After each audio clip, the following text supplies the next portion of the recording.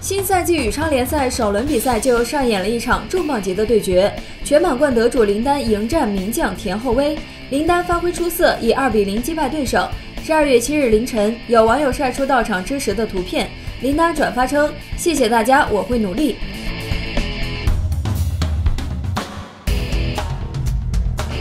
据悉，超级丹出轨门事件后人气急剧下滑，不仅被传商业代言受到影响，损失近千万。在为劳伦斯盛典预热的投票页面人气垫底，和第一名张继科票数差了五倍多。二零一六年十一月十七日上午以前，林丹曾经是一个完美的偶像，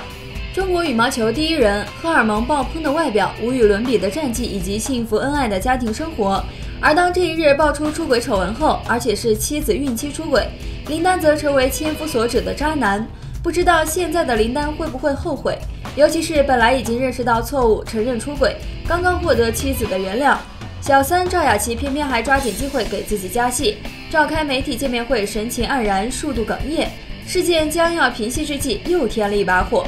虽然林丹已经恢复训练，想要通过征战羽超比赛，用球场上的成绩挽回曾经的一切，然而他作为运动员来说，年龄已经大了，在里约奥运会时体力就不敌新星。这次出轨事件后，原本代言的三个天价品牌，有两家超级单预期赞助已经被叫停，而其余的赞助也还在观望中。他和妻子谢杏芳一起代言的某广告，据说签订的时候就有代言期间不许离婚、不许有花边新闻的条款。如今出轨丑闻爆出，个人形象一落千丈，林丹至少要损失几千万，甚至还要面临天价赔付。据了解，劳伦斯号称世界运动员的奥斯卡奖。与中国人对电影奥斯卡浓重情节一样，运动员同样有劳伦斯情节。从两千年该奖创办以来，由最初的中国人并不受重视，到现在姚明、刘翔、李娜先后获得过最佳新人奖、特别奖等。二零一三年，林丹在参加劳伦斯奖颁奖仪式时就曾说过一段话：“